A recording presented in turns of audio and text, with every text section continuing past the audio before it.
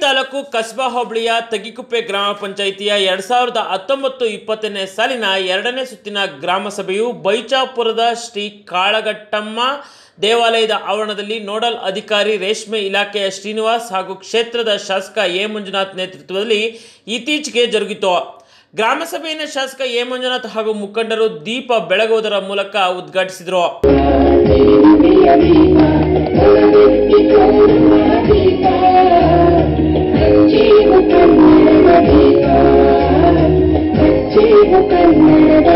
ಗ್ರಾಮ ಸಭೆಗೆ ಮುನ್ನ ಬೈಚಾಪುರ ಗ್ರಾಮವನ್ನ ಮುಖ್ಯಮಂತ್ರಿಗಳ ಗ್ರಾಮ ವಿಕಾಸ ಯೋಜನೆಗೆ ಸೇರಿಸಿಕೊಂಡಿರುವ ಹಿನ್ನೆಲೆಯಲ್ಲಿ ಬೈಚಾಪುರ ಗ್ರಾಮದಲ್ಲಿ ಅಂಗನವಾಡಿ ಕಟ್ಟಡ, ನಿರ್ಮಾಣ ಹಾಗೂ ಕಾಂಕ್ರೀಟ್ ರಸ್ತೆ ಕಾಮಗಾರಿ ಶಾಸಕ ಎ ಮಂಜುನಾಥ್ ಗುದ್ದಲಿ ಪೂಜೆಯನ್ನು ನಡೆಸಿದರು.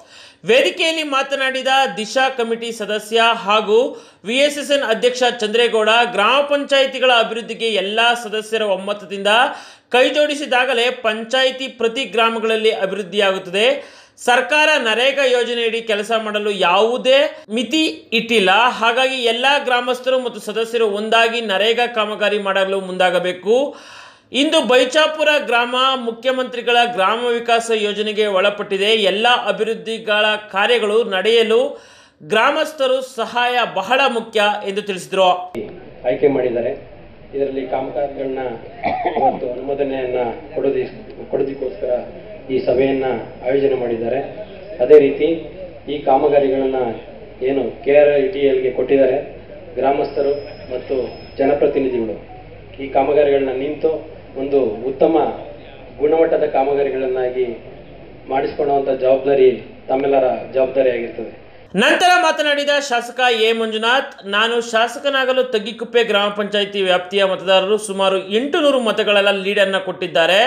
ಇಂದು ಅವರ ಋಣ ತೀರಿಸುವ ಸಲುವಾಗಿ ಮುಖ್ಯಮಂತ್ರಿಗಳ ಗ್ರಾಮ ವಿಕಾಸ ಯೋಜನೆಯಡಿಯಲ್ಲಿ ಬೈಚಾಪುರ ಗ್ರಾಮವನ್ನು ಆಯ್ಕೆ ಮಾಡಿ ಈಗಾಗಲೇ ಇಪ್ಪತ್ತೈದು ಲಕ್ಷ ಬಿಡುಗಡೆಯಾಗಿ ಮೂಲಭೂತ ಸೌಕರ್ಯಗಳಿಗೆ ಹೆಚ್ಚಿನ ಒತ್ತು ನೀಡಿದ್ದು ಶೇಕಡ ಐವತ್ತರಷ್ಟು ರಸ್ತೆ ಚರಂಡಿ, ಶೇಕಡ ಇಪ್ಪತ್ತೈದರಷ್ಟನ್ನು ಪರಿಶಿಷ್ಟ ಜಾತಿ ಮತ್ತು ಜನಾಂಗಕ್ಕೆ ಮೀಸಲಿಟ್ಟು ಉಳಿದ ಹಣದಲ್ಲಿ ಅಂಗನವಾಡಿ, ದೇವಾಲಯ, ಶಾಲಾ ಕಟ್ಟಡ ದುರಸ್ತಿ ಸೇರಿದಂತೆ ಹಲವಾರು ಅಭಿವೃದ್ಧಿ ಕಾರ್ಯಗಳನ್ನು ಕೈಗೆತ್ತಿಕೊಂಡು ಮುಖ್ಯಮಂತ್ರಿಗಳ ಗ್ರಾಮ ವಿಕಾಸ ಯೋಜನೆ ಸಂಪೂರ್ಣ ಯಶಸ್ಸನ್ನು ಕಾಣುವಂತೆ ಅಭಿವೃದ್ಧಿಪಡಿಸಿದ್ದೇವೆ ಎಂದರು.